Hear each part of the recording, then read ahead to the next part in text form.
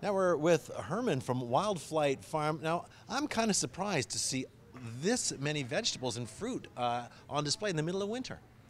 Well, a lot of the things are grown locally, and some things we also buy a few extra things in to just add a little bit more diversity, so it makes it worth coming down. Now you've got uh, everything from carrots, of course. Those those those stay pretty good. What, where are these from? Yeah, carrots are grown in Grindrod. Uh, we have a local organic farmer there that can grow carrots really well, so we help him out and buy his carrots and s- resell them. Uh, the apples come from the Similkameen Valley. It's the sort of biggest fruit growing area for organic, for organic fruit. Um, pears got- are from Winfield. You got your uh, your squashes here, of course. Squash are our own. They're from our own farm in Mara. Same with the rutabaga.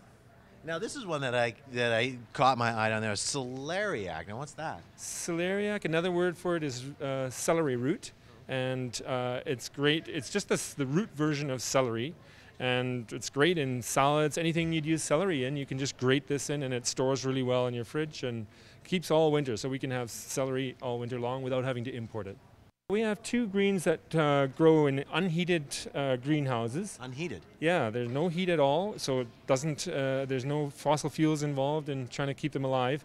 They can. The, the unique thing about these two is this corn salad in French it's called mâche, and uh, claytonia is that they can freeze solid. If it goes to minus 20, it's no problem. That we can't harvest them when it's frozen, but as soon as it thaws again, they just recover, and uh, we can harvest them and have them available all winter long.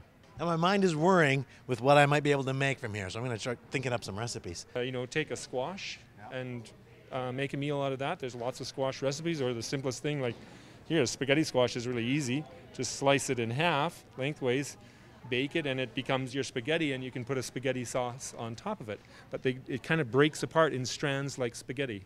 So it's really easy. You've got your vegetable built right into your meal that way.